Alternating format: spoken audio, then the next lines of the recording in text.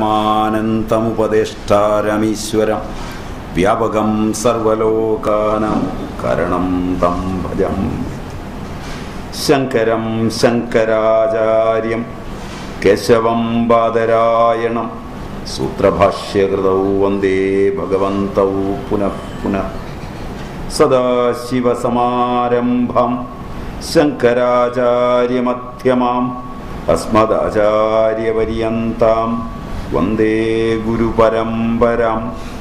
ബോധാനന്തം ച കല്യാണം മലാനന്തമാത്മജം സച്ചിദാനന്തമാത്മജം സ്യുതാനന്തഗുരും.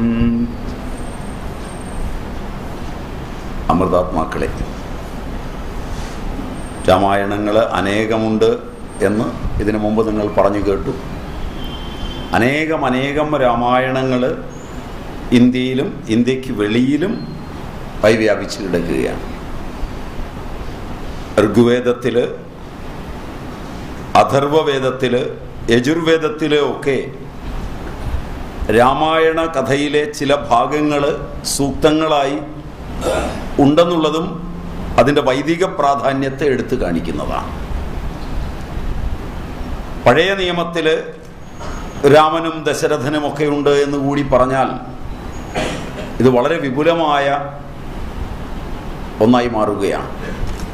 ഭാരതത്തിന് വെളിയിൽ തന്നെ വളരെ വ്യാപിച്ച് കിടന്നിരുന്ന ചില സന്ദേശങ്ങൾ അതിൽ ഏറ്റവും അനർഘമായ ഒന്ന് രാമായണത്തെക്കുറിച്ച് രാമായണം രചിച്ച ഋഷി സാക്ഷാൽ രാമനോട് പറയുന്നിടമാണ്. താൻ ആരായിരുന്നുവെന്നും താൻ എങ്ങനെയാണ് ജീവിച്ചിരുന്നതെന്നും ഏത് തരത്തിലാണ് തനിക്ക് മാറ്റമുണ്ടായതെന്നും. രാമായണത്തിലെ ഏറ്റവും അനർഘമായ രംഗം ചിത്രകൂടത്തിൽ വെച്ചാണ് അനാവരണം ചെയ്യുന്നത്. രാമന് മുമ്പ് രാമായണ കഥയുണ്ടാവുക. നാമിയായ രാമനു മുമ്പ് രാമനാമം ഉണ്ടാവുക രാമനാമത്തിന്റെ മാഹാത്മ്യം രാമന് മുമ്പ് തന്നെ അനുഭവിച്ചറിഞ്ഞ ഒരാൾ രാമനോട് പറയുക. ഇങ്ങനൊരു രംഗം രാമായണത്തിലുണ്ട്. എഴുത്തച്ഛൻ അത് ഭംഗിയായി വർണിച്ചിട്ടുണ്ട്. അധ്യാത്മരാമായണം മൂലകാരൻ പല പേരുകളാണ് അധ്യാത്മരാമായണകാരനായി അറിയപ്പെടുന്നത്.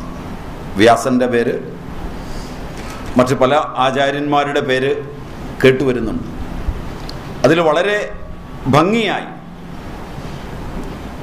രാമൻ ചിത്രകൂടത്തിൽ വാൽമീകിയെ കാണുമ്പോൾ തനിക്ക് കുറച്ചുനാൾ വനത്തിൽ താമസിക്കണമെന്നുണ്ട് എന്നരുളി ചെയ്യുകയാണ്. അതിന് മറുപടിയായി വാൽമീകി പറഞ്ഞത് ഈ ലോകമെല്ലാം നിന്നിൽ വസിക്കുന്നു നീ ഈ ലോകത്തിൽ വസിക്കുന്നു.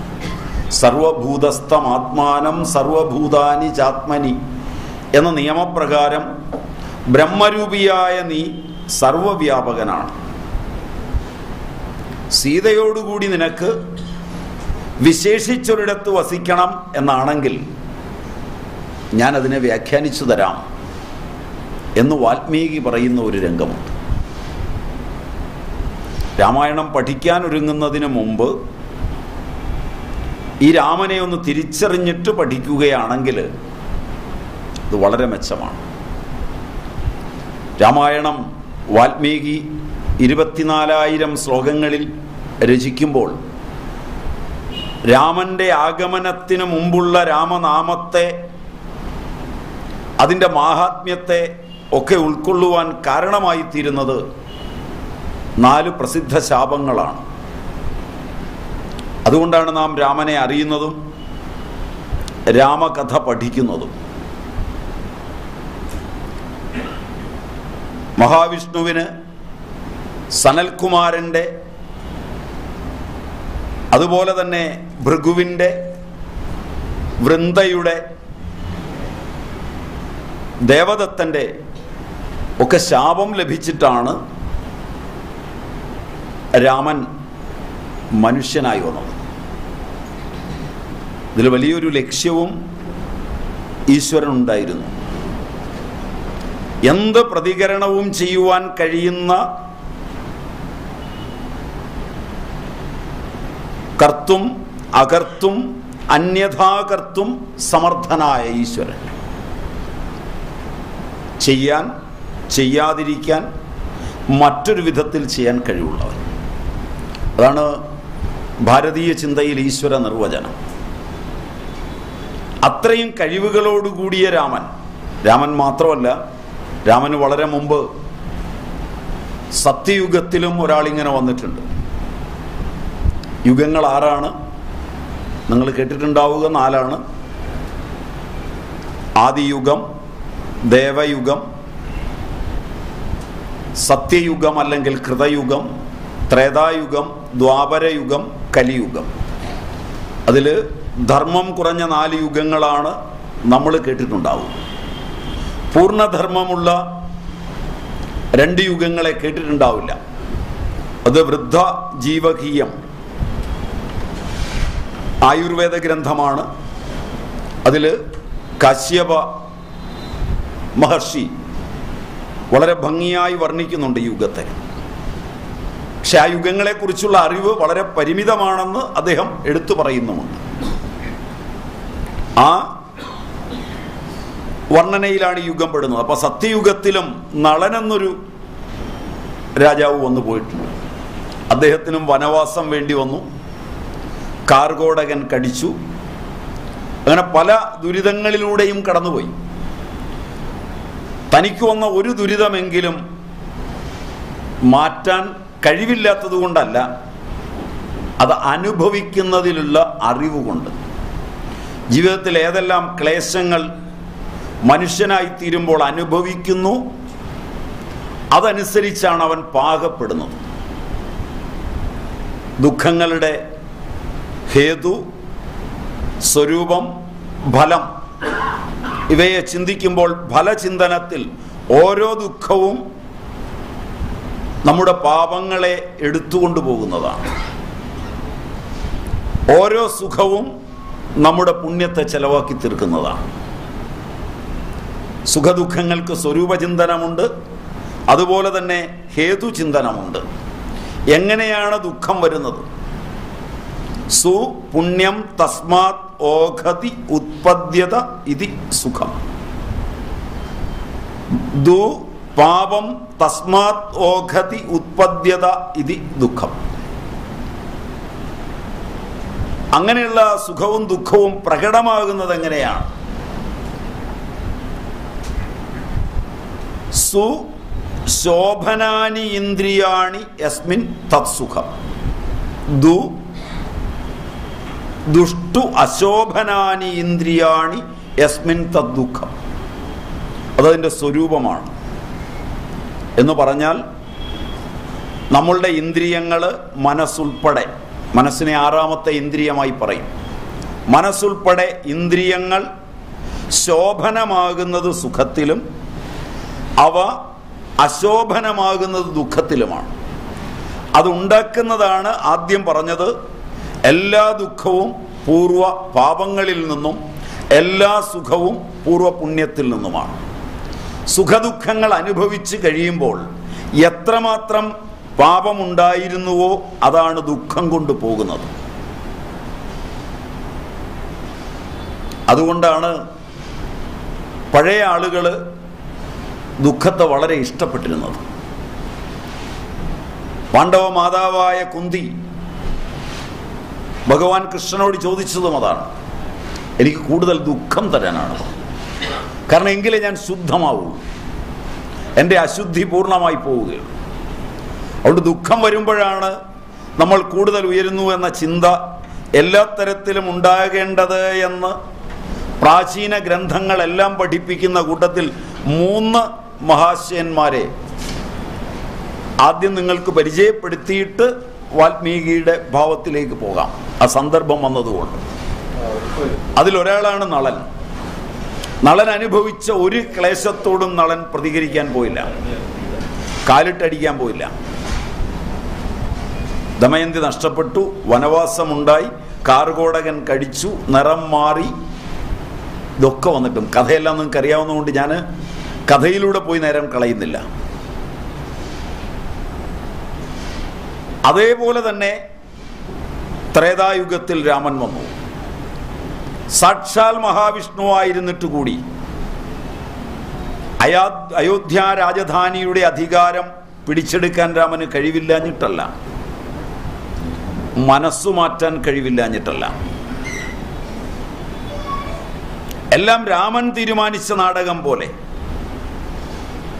രാമാഭിഷേക വിഘ്നത്തിനു കാരണം കൈകേയിയല്ല മന്ധരയല്ല രാമപാദങ്ങളാണ് തപോനിധേ. എന്ന് ജാബാലി മുതലായവർ പറയുന്നുണ്ട്.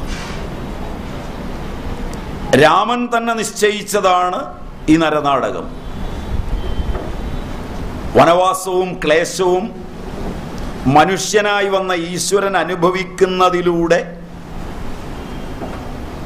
എങ്ങനെയാണ് ശാപഗ്രസ്തമായ പാപങ്ങളിൽ നിന്ന് മോചനം നേടുന്നത്. അതുപോലെ ശാപഗ്രസ്തനായ മനുഷ്യൻ ഭൂമിയിൽ വന്നിട്ട് അവന്റെ മുമ്പിലേക്ക് വരുന്ന ക്ലേശ സഹസ്രങ്ങളെ കാണുമ്പോൾ തകരാതിരിക്കാൻ തരുന്ന ഏറ്റവും വലിയ സന്ദേശങ്ങളിൽ ഒന്നാണ് രാമായണമെന്ന് ഓർമ്മപ്പെടുത്തുകയാണ്. മുപ്പത്തിരണ്ടായിരം ശ്ലോകങ്ങളിൽ വർണിക്കുന്ന രാമായണത്തിന്റെ ശരിയായ ഭാഗമായ യോഗവാസിഷ്ടം അതുകൊണ്ട് എനിക്ക് മാതൃഭൂമിയോട് ഒരപേക്ഷ കൂടിയുണ്ട്. മലയാളത്തിൽ രാമായണം പ്രകാശനം ചെയ്തതുപോലെ അടുത്ത വർഷത്തെ രാമായണ മാസമാകുമ്പോഴേക്കെങ്കിലും യോഗവാസിഷ്ടം മലയാളികൾക്ക് പരിചയപ്പെടുത്തി കൊടുത്താൽ അത് വലിയ ഉപകാരമായിരിക്കുമോ? ഇന്ത്യൻ ചിന്തയിലെ പുരുഷാർത്ഥ ചിന്തയുടെ സമുജ്വല വാഗ്മയങ്ങളാണ് യോഗവാസിഷ്ഠ അതിലാണ് ഈ ശാപവൃത്താന്തമെല്ലാം പറയുന്നത്. അത് പറഞ്ഞ നേരം നീ കളയാൻ പറ്റില്ലാത്തതുകൊണ്ട് നിങ്ങൾ തന്നിരിക്കുന്ന വിഷയം മറ്റൊന്നായതുകൊണ്ട് അതിലെ അനർഘ നിമിഷങ്ങൾ അതിലെ ഏറ്റവും അനർഘ നിമിഷം രാമനും വാൽമീകിയും തമ്മിൽ കണ്ടെത്തുന്നതാണ്. ഏറ്റവും പ്രസിദ്ധവും ഒരുപക്ഷെ അതാണ്. കാരണം രാമനാമം ജപിച്ച് ബ്രാഹ്മണ്യം കാട്ടാളത്തമായി മാറിയത് പുനരുജ്ജീവിച്ച് സപ്തർഷികളുടെ അനുഗ്രഹം കൊണ്ട് നീണ്ട ആയിരം വർഷത്തെ തപസ്സും കഴിഞ്ഞ് ശുദ്ധനായി നിരഞ്ജനനായി വന്ന ഋഷി രാമൻ ഇരിക്കാനുള്ള ഇരിപ്പിടം കാണിച്ചു കൊടുക്കുന്നു. രാമൻ ഒരു കാര്യത്തിൽ പോലും എതിരായി പ്രതികരിച്ചല്ല നീങ്ങിയത്. അയോധ്യയുടെ രാജധാനി രാമന് കൈവശപ്പെടുത്താമായിരുന്നു. ഇല്ല. രാമൻ ഏറ്റവും പ്രിയമുള്ളവരാണ് രാമന്റെ വനവാസത്തിന് കളമൊരുക്കിയത്. രാമായണം വായിക്കുമ്പോൾ മറക്കരുത്. അതെല്ലാം ഇതിനോട് ചേർത്ത് വായിക്കണം. രാമായണം വായിച്ച് കൈകേയിയോട് വിരോധം വരരുത്. അത് നിങ്ങളുടെ ഭക്തിക്ക് കളങ്കമാണ്. രാമകാര്യത്തിന് വേണ്ടി അയോധ്യയിൽ ആദ്യ അവസാനം നിലകൊണ്ടിട്ടുള്ളത് കൈകേയിയാണ്. രാമം രാമൻ രാജ്യഭാരമേറ്റാൽ രാമന്റെ വരവിന്റെ ഉദ്ദേശം നടക്കില്ല എന്ന് തന്നെ പഠിക്കണം. തിരിച്ചു പഠിക്കരുത്. നമുക്കൊക്കെ ആവുമ്പോൾ ഇഷ്ടം രാജ്യഭാരമാണ്. നമുക്കൊക്കെ ആവുമ്പോൾ ഇഷ്ടം വിഷയലോകങ്ങളും സുഖങ്ങളുമാണ്. അതുകൊണ്ടാണ് ഇപ്പോഴത്തെ വിമോചന പ്രസ്ഥാനങ്ങളുടെ ആളുകൾ ആരോ അടുത്ത ഇടയിൽ പത്രത്തിൽ എഴുതി വാചകമേളയിലാണോ കണ്ടതെന്ന് എനിക്ക് സംശയമുണ്ട്. ചെങ്കോൽ വലിച്ചെറിഞ്ഞ് തന്റെ കമിതാവിനോടൊപ്പം ഓടിയ ജെയിംസ് രണ്ടാമനെയാണ് ചെങ്കോൽ സ്വീകരിക്കാൻ വേണ്ടി സീതയെ വലിച്ചെറിഞ്ഞ രാമനേക്കാൾ ഞാൻ ഇഷ്ടപ്പെടുന്നു ഇവരൊക്കെ ഇത്രയൊക്കെ ഇഷ്ടപ്പെട്ടിട്ടും രാമായണം തമസ്കരിക്കപ്പെടാൻ പറ്റിയിട്ടില്ല എന്നുള്ളത് മറക്കരുത്. ഇവരുടെ ഇഷ്ടങ്ങളൊക്കെ അവിടെ ഇരിക്കട്ടെ. അപ്പോ നമുക്കിഷ്ടം വരുന്നത് വിഷയസുഖങ്ങളാണ് രാമനെ വനത്തിലേക്ക് അയക്കുന്നതിന് കാരണമായ ഇതിവൃത്തം പഠിച്ചിട്ടുണ്ടെങ്കിൽ രാമായണത്തിലെ ഏറ്റവും നല്ല അമ്മ കൈകൈ തന്നെയാണെന്ന് പഠിക്കണം. രണ്ട് അയോധ്യ രാജധാനിയിൽ ആരുടെയെങ്കിലും നാവ് സരസ്വതിക്കിരിക്കാൻ പറ്റിയതുണ്ടെങ്കിൽ അത് മന്ധരയുടേതാണെന്ന് മറക്കരുത്. അങ്ങനെയാണ് രാമായണകാരൻ എഴുതിയിരിക്കുന്നത്. ഞാനുണ്ടാക്കി പറയുന്നതല്ല. നമ്മുടെ ഇടയിലെ ഏഷണി കൂട്ടുന്നവളെ മന്ധര എന്ന് വിളിക്കരുത്. അവളുടെ നാവിലിരിക്കുന്നത് സരസ്വതി ഒന്നുമല്ല മൂശട്ടയാണ്. മന്ധര എന്ന് പറയുന്നത് അയോധ്യ രാജധാനിയിലെ അവതാരത്തോടൊപ്പം വരുന്ന പരമ്പരയുടെ രൂപമാണ്. ഇതേ മന്ധരയാണ് കംസന് തുണിയുമായി പോകുന്നതായി കൃഷ്ണാവതാര കഥയിൽ കാണുന്നത്. അവിടെ വെച്ചാണ് കുബ്ജയുടെ കൂന് നിവരുന്നതും. അപ്പം അവതാര ലീലയിൽ ആരെല്ലാം പങ്കെടുക്കുന്നു? അവരാരെല്ലാമാണ്?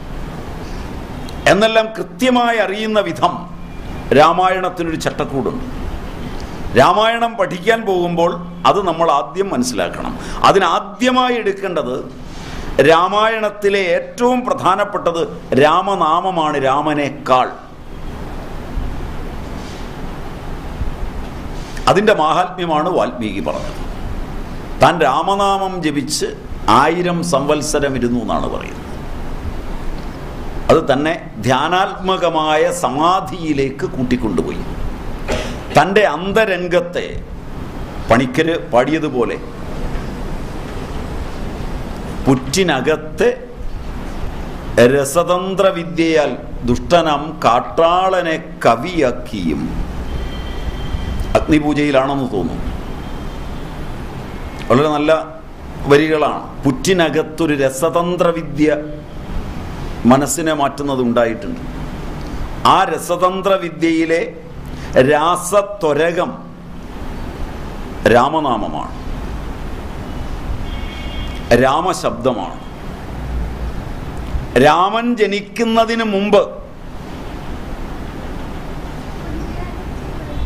രാമനെ വാൽമീകി പരിചയപ്പെടുന്നതിന് മുമ്പ് രാമശബ്ദം ഉണ്ടാവുക ആ നാമത്തിന്റെ മാഹാത്മ്യം കൊണ്ട് കവിയായി വരിക. കവി ശോകം കൊണ്ട് ശ്ലോകം വിരചിക്കുക. വിഷ്ണുവിന്റെ മാഹാത്മ്യത്തെ പ്രകടമാക്കുന്ന ശ്ലോകം വിരചിക്കുക. നാരദൻ തനിക്കറിയാവുന്ന രാമായണം തന്റെ പിതാവ് പഠിപ്പിച്ചത്. രാമന് മുമ്പ് വാൽമീകി രാമായണത്തിന് മുമ്പ് നാരദ രാമായണവും നാരദ രാമായണത്തിന് മുമ്പ് ഉള്ള ബ്രഹ്മരാമായണവും വച്ചുകൊണ്ട് പുതിയ രാമായണം എഴുതുവാൻ വാൽമീകിയോട് ആവശ്യപ്പെടുക.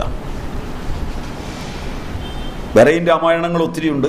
രാമന്റെ കൂടെ സന്തത സഹചാരിയായി നടന്ന ആഞ്ജനേയൻ രാമായണം രചിക്കുന്നുണ്ട്. അതിന്റെ ഒരു ശ്ലോകമേ കിട്ടിയിട്ടുള്ളൂ എന്നാണ് പറയപ്പെടുന്നത്.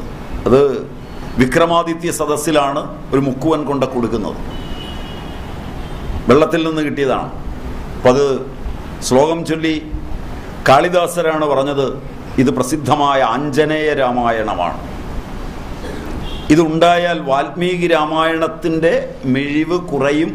വാൽമീകി രാമായണത്തിൽ നിത്യപ്രതിഷ്ഠിതനായി ഇരിക്കുന്ന ആഞ്ജനേയൻ ഉള്ളപ്പോൾ ആഞ്ജനേയന് ഒരു കൃതി എഴുതി പ്രശസ്തനാകേണ്ടതില്ലാത്തതിനാൽ ആഞ്ജനേയ എന്റെ ഭക്തനായ വാൽമീകിയുടെ നാമം അനശ്വരമാകുന്നതിന് നിന്റെ രാമായണം കടലിലെറിയൂ എന്ന് രാമൻ ആജ്ഞാപിച്ചുവെന്നും ഭക്തനായ ആഞ്ജനേയൻ എറിഞ്ഞുവെന്നും കാളിദാസര് പറഞ്ഞുവെന്നാണ് കഥ. ഇതൊക്കെ കഥകളാണ്. പക്ഷെ ഇതിലൊക്കെ ഈ മിത്തിലൊക്കെ ഒട്ടേറെ ആശയങ്ങളുണ്ട്. അബോധ പ്രബോധനം. ഭാരതീയർ അറിവ് നേടിയത് മുഴുവൻ മിത്തിൽ നിന്നാണ്. അതുണ്ടാക്കിയ സ്വാപ്നികമായ അറിവ്. അതാണ് നാം തമസ്കരിച്ചത് കഴിഞ്ഞ ഒരു നൂറ്റാണ്ടായി.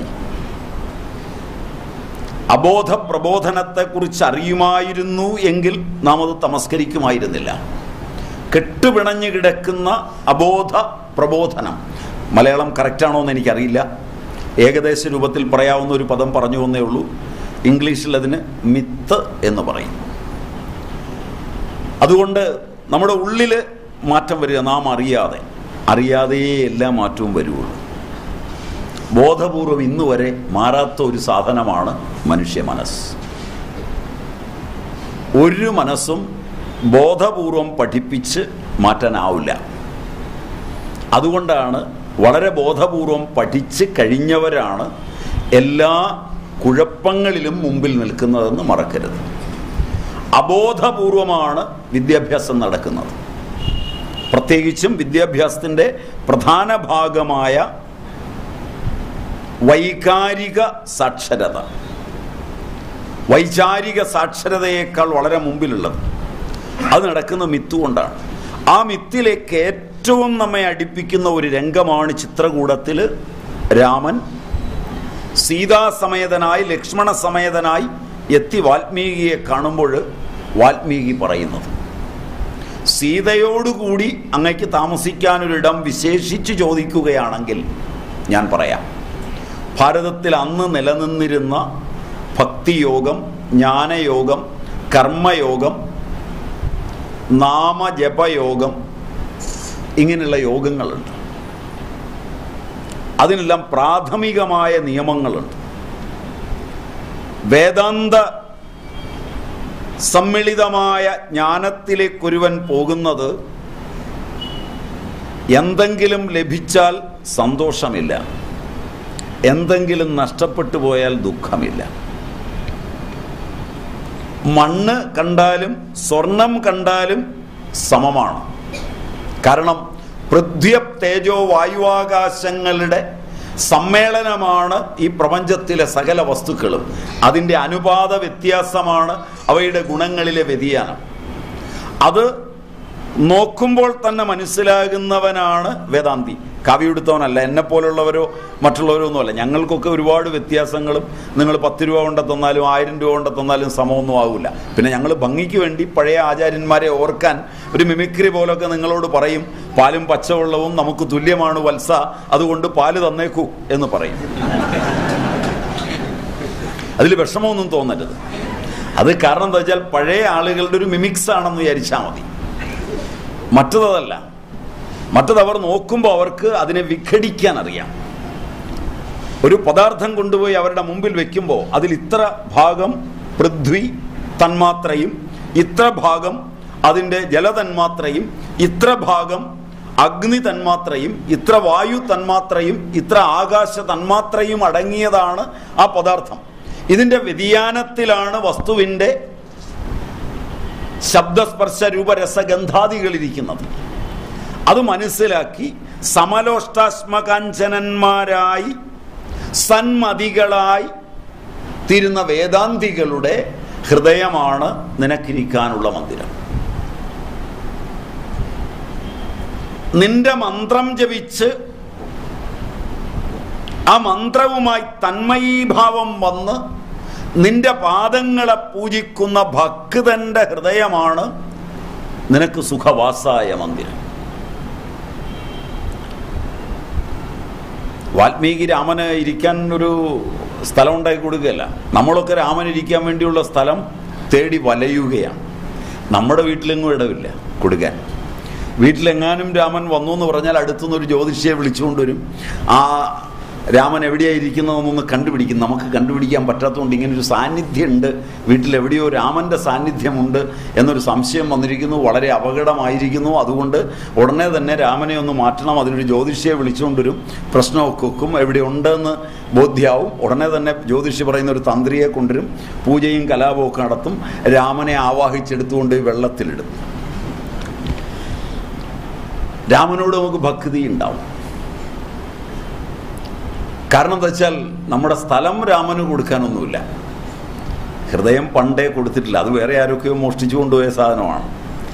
മറ്റത് രാമനാമം ജപിച്ച് ഏതൊരുവന്റെ ഹൃദന്തം അന്ധക്കരണം വിശുദ്ധമായി തീർന്ന് അതിൽ രാമഭാവം മാത്രമായിരിക്കുന്നു ആ ഹൃദയമാണ് രാമനിരിക്കാനുള്ളത്. യാതൊരുവനാണ് പ്രാണങ്ങളെ നിയന്ത്രിച്ച്. യാതൊരുവനാണ് തന്റെ വിചാരഗതികളെ നിയന്ത്രിച്ച് യോഗിയായി തീർന്നിരിക്കുന്നത് അവന്റെ ഹൃദയം രാമന്റെ മന്ദിരമാണ്. ഇങ്ങനെ വാൽമീകി രാമൻ ഇരിക്കാനുള്ള മന്ദിരം ചൂണ്ടിക്കാണിച്ചിട്ടാണ് ചിത്രകൂടം കഴിഞ്ഞ് രാമൻ പോകുന്നത്.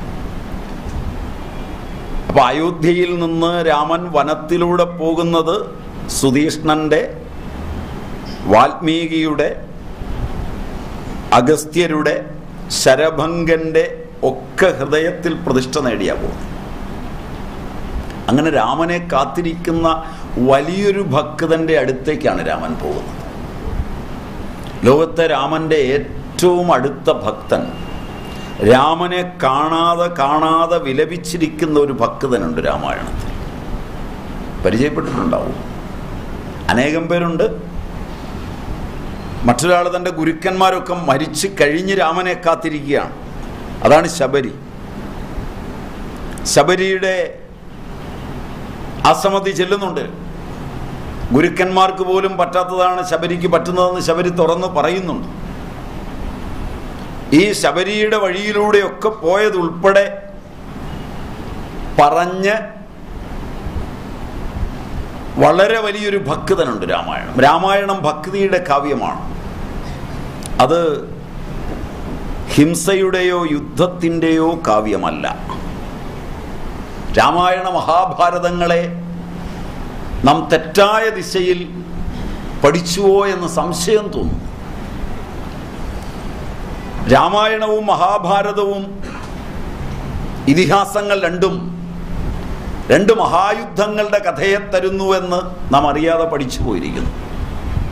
യുദ്ധമൊക്കെ നടക്കുന്നത് അകത്താണ് മഹാഭാരതത്തിൽ അത് ഗീതയിൽ തന്നെ പറയുന്നുണ്ട് ജഹി ശത്രു മഹാബാഹു കാമരൂപം ദുരാസതം അത് കൊന്നു കഴിഞ്ഞാൽ പിന്നെ ഒരു ശത്രുവില്ല. കൃഷ്ണൻ അർജുനനോട് പറഞ്ഞത് അതാണ്. രാമായണത്തിലും രാമനെ കാത്തിരിക്കുന്ന ഒരു ഭക്തോത്തമനുണ്ട്. രണ്ടാമത് പറയാവുന്ന വളരെ ശ്രദ്ധേയമായ ഒരു അനർഘ നിമിഷമാണ് അവർ കണ്ടുമുട്ടുന്നത്. പേര് രാവണൻ എന്നാണ്. നിങ്ങൾക്ക് തീരെ ഇഷ്ടപ്പെടാത്ത രാമഭക്തൻ. രാമനെ തന്റെ സവിധത്തിലേക്ക് വരുത്തുന്നതിനു വേണ്ടി വിഷ്ണു പാർഷദനായ രാവണൻ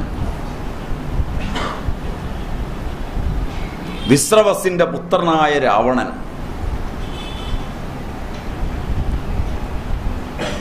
ഈ അവതാരലീലയിൽ എത്ര വലിയ പങ്കാണ് വഹിച്ചിട്ടുള്ളത്? ഇത് രാവണന്റെ വാക്കുകളിൽ കേൾക്കുമ്പോഴാണ് അനർഘ നിമിഷമെന്ന് തോന്നുന്നത്. രാമായണത്തിലെ കാണ്ഡങ്ങൾ എടുത്ത് നിങ്ങൾ പഠിച്ചാൽ രാമന്റെ ബാല്യകാലം ബാലകാന്ഡമാണ് രാമൻ അയോധ്യയിൽ ജീവിച്ചത് അയോധ്യാകാന്ഡമാണ് രാമൻ ആരണ്യത്തിലൂടെ പോയത് ആരണ്യകാന്ഡമാണ് കിഷ്കിന്ധ രാജ്യത്ത് സുഗ്രീവ സഖ്യവും മറ്റും നടത്തിയത് കിഷ്കിന്ധ കാണ്ഡമാണ്. ഇതൊക്കെ രാമജീവിതവുമായി ബന്ധപ്പെട്ടതാണ്. രാമരാവണ യുദ്ധം നടത്തിയ കാണ്ഡം യുദ്ധകാന്ഡമാണ് ഇതിൽ പെടാതൊരു കാണ്ഡമുണ്ട്. ഉം? സുന്ദരകാന്ഡം അതീവ സുന്ദരമാണ് എഴുത്തച്ഛന്റെ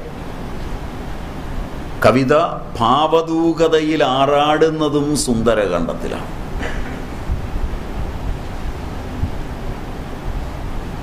നല്ല മലയാള ശൈലിയുടെ തയ്യാറെടുപ്പില്ലാതെ വായിച്ചാൽ അക്ഷരം കൊണ്ട് നാവുളുക്കുന്ന അധ്യായം ആണ് സുന്ദരകാന്ഡം.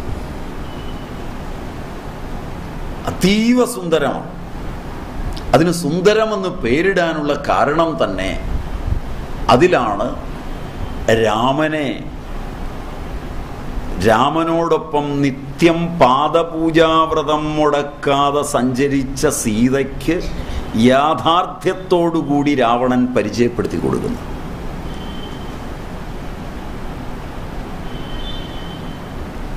രാമായണം ഒരുപാട് പ്രാവശ്യം വായിച്ചിട്ടുണ്ടാവും. ഇല്ലേ? ഏ? പക്ഷെ ഇങ്ങനൊരു കാര്യം ശ്രദ്ധിച്ചിട്ടുണ്ടാവുമോ? ഇങ്ങനൊരു കാര്യം രാമായണത്തെക്കുറിച്ച് ശ്രദ്ധിച്ചിട്ടുണ്ടാവുമോ ഏ? ഞാൻ നിങ്ങൾ ഇതുവരെ വായിച്ച രാമായണത്തിൽ നിങ്ങൾക്ക് ഇഷ്ടപ്പെട്ട കഥാപാത്രങ്ങളിലൂടെയല്ല പോകുന്നത്. നിങ്ങൾക്ക് ഇഷ്ടപ്പെടാത്ത കഥാപാത്രങ്ങളിലൂടെ. രാമ അവതാരത്തെ സഹായിക്കുകയും രാമാവതാരത്തിന്റെ ഉദ്ദേശ്യ ലക്ഷ്യങ്ങളെ സാധിതപ്രായമാക്കുകയും ചെയ്ത സംരംഭയോഗത്തിന്റെയും സംയോഗ ഭക്തിയുടെയും സമുജ്വല ഭൂമികയിലൂടെ ഒരുപോലെ സഞ്ചരിച്ചിട്ടുള്ള കഥാപാത്രങ്ങൾ. നാരദന്റെതാണ് സംരംഭയോഗം. വിപരീത ഭക്തി രാമനെ കാത്തിരിക്കുന്ന രാവണൻ. രാവണന്റെ സ്വപ്നങ്ങൾ പോലും രാമനെ കാത്താണ്. ക്രമമായി വായിച്ചാൽ അറിയാം. ശൂർപ്പണാഖ കരഞ്ഞുകൊണ്ട് വരുമ്പോൾ രാവണൻ വിചാരിക്കുന്ന കുറേ കാര്യങ്ങളുണ്ട്. ദണ്ഡകാരണ്യത്തിൽ വന്നിരിക്കുന്ന രണ്ട് കുമാരന്മാർ നിശ്ചയമായും തനിക്ക് മോക്ഷം തരാനുള്ള വിഷ്ണു തന്നെ ആയിരിക്കും എന്ന് വിചാരിക്കുന്ന ഒരു രംഗമുണ്ട്. ശ്രദ്ധേയ രംഗങ്ങളിൽ ഒന്നാണത് രാത്രിയിൽ സ്വപ്നം കാണുന്ന രംഗമുണ്ട്. മാരീചനോട് സംസാരിക്കുമ്പോൾ മാനായി പോകുവാൻ സംസാരിക്കുമ്പോൾ എതിർത്തു പറയുന്ന മാരീചൻ രാമന്റെ ഗുണഗണങ്ങളെ പറഞ്ഞ് രാവണനെ പിന്തിരിപ്പിക്കുവാൻ ശ്രമിക്കുന്ന കാരണം രാമബാണത്തിന്റെ എച്ചിലാണ് മാരീചൻ നിങ്ങൾക്കറിയാവത്? വിശ്വാമിത്ര യാഗത്തിൽ സുബാഹു കൊല്ലപ്പെട്ട് കഴിഞ്ഞ് ഒരു വിധത്തിൽ ഓടി രക്ഷപ്പെട്ട മാരീചന് രാ എന്ന ശബ്ദത്തിൽ ഏത് കേട്ടാലും ഇന്ന് ഭയം ഉണ്ടാവും ആ മാരീചനെ നിർബന്ധിച്ചു വിടുമ്പോൾ രാവണൻ വിചാരിക്കുന്ന ഒരു രംഗമുണ്ട്. രാവണന്റെ വിചാരവികാരങ്ങളിലൂടെ രാമഭക്തിയുമായി നിങ്ങളുടെ മനസ്സൊന്ന് പായിക്കുക.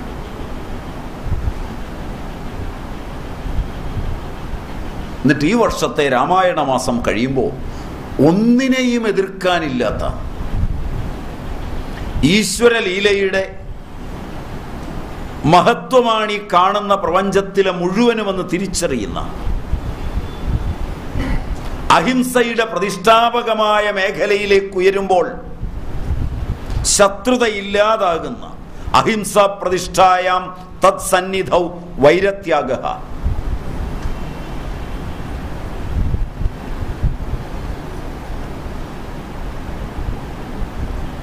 അങ്ങനൊരു രാമായണത്തെ അതിലെ ചില നിമിഷങ്ങളിൽ നിന്ന് പഠിക്കാനൊന്ന് ശ്രമിക്കുക.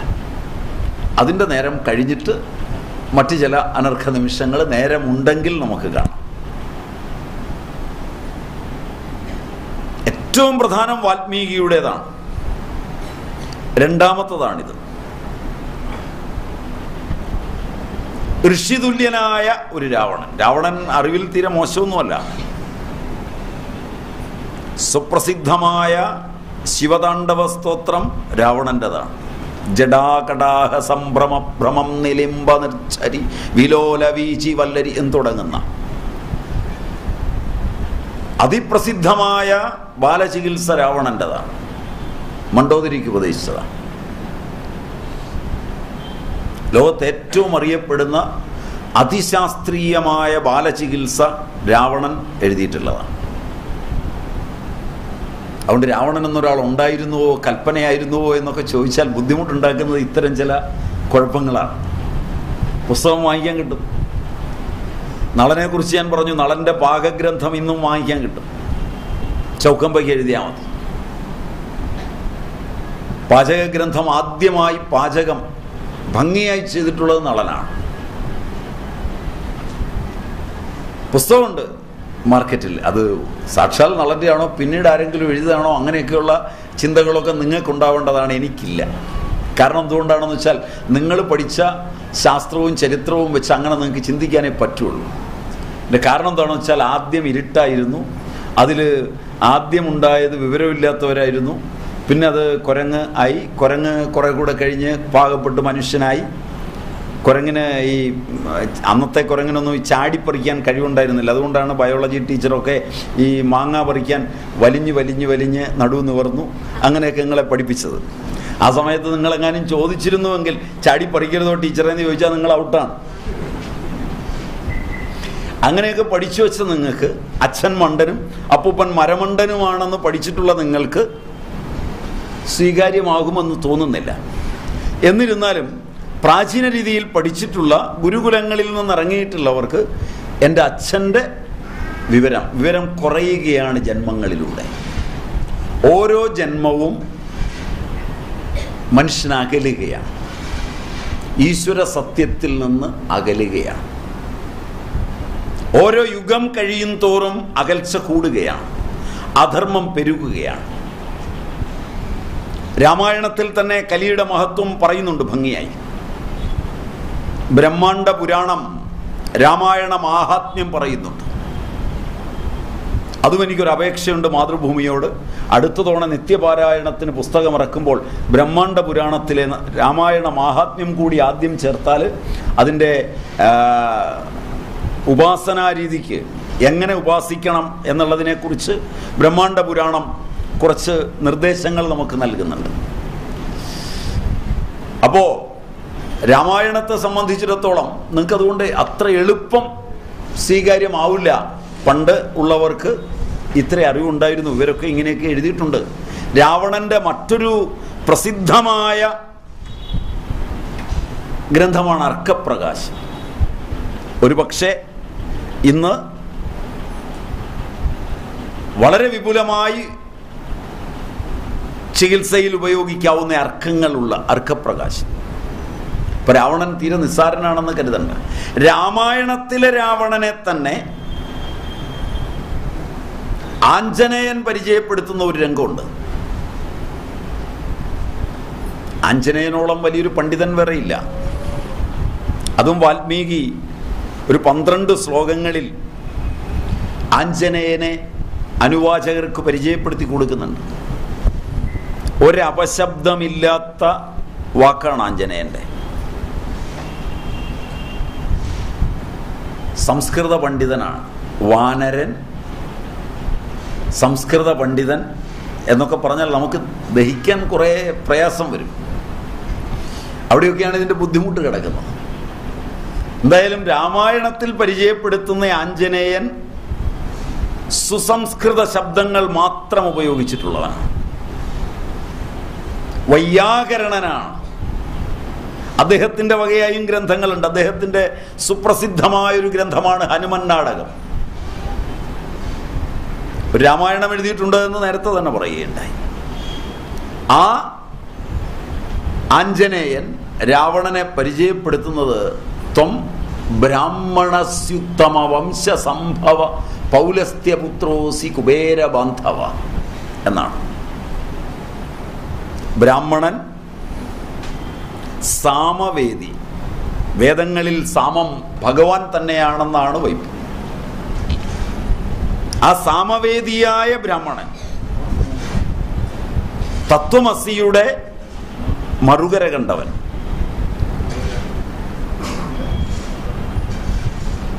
പ്രസിദ്ധമായ ഗായത്രി മന്ത്രത്തിന് സുപ്രസിദ്ധമായ ഭാഷ്യം രചിച്ചവൻ. രാവണ ഭാഷ്യമുണ്ട് ഉർവടൻ രാവണൻ ശങ്കരൻ ഇവരൊക്കെ ഭാഷ്യം രചിച്ചിട്ടുണ്ട്. ഗായത്രിക്ക്. അത് നിത്യം പുരസ്സരണം ചെയ്യുന്നവൻ. ആ രാവണനാണ് രാമനെ കാത്തിരുന്നത്. ലങ്കയിൽ.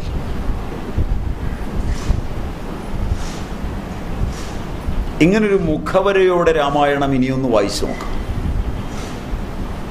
ഇതുവരെ വായിച്ചത് ഒരു രാമരാവണ യുദ്ധത്തിന്റെ കേളികൊട്ട് കേട്ട് അതിങ്ങനെ പഠിച്ച് അതിന്റെ അടിസ്ഥാനത്തിൽ രാമായണം വായിക്കുകയാണ് ചെയ്തതെന്ന് തോന്നുന്നു. അമായി റൈറ്റ് ശരിയാണ്? എന്റെ നിഗമനം ശരിയാണ്? നിങ്ങളുടെ ഈ നിഗമനത്തെ ഒന്ന് മറിക്കാൻ പറ്റുമോ എന്നാണ് ഞാൻ ചിന്തിച്ചത്. ഉച്ച സമയത്ത് രാമനെ കാത്തിരിക്കുന്ന സംരംഭയോഗത്തോടുകൂടിയ ഒരു രാവണൻ. മൂലകാരൻ ഗംഭീരമായിട്ടാണ് രംഗം കൊണ്ടുപോകുന്നത്. എഴുത്തച്ഛൻ മുമ്പ് പറഞ്ഞ പോലെ അവിടെയൊക്കെ വർണിക്കുമ്പോൾ ഭാവദൂകതയിൽ ആറാടുകയാണ്. പി കെ പരമേശ്വരൻ നായരുടെ പദമെടുത്തു പറഞ്ഞാൽ മലയാള സാഹിത്യ ചരിത്രത്തിൽ. ഭാവ- ഭാവദൂകത എന്ന പദത്തിന് പകരം വെക്കാനൊരു പദം അറിയില്ല എങ്കിലും ട്രാങ്കുളിറ്റി എന്ന് പറയാമെന്ന് തോന്നുന്നു English Poetry is the spontaneous overflow of powerful feelings and emotions recollected, or emotions recollected in tranquility. അപ്പോ അത് ഏറ്റവും കൂടുതൽ കാണുന്നത് സുന്ദരകാന്ഡത്തിലാണ് അതിലേറ്റവും ഭംഗിയായി കാണുന്നത് രാവണനും സീതയുമായുള്ള സംഭാഷണത്തിലാണ്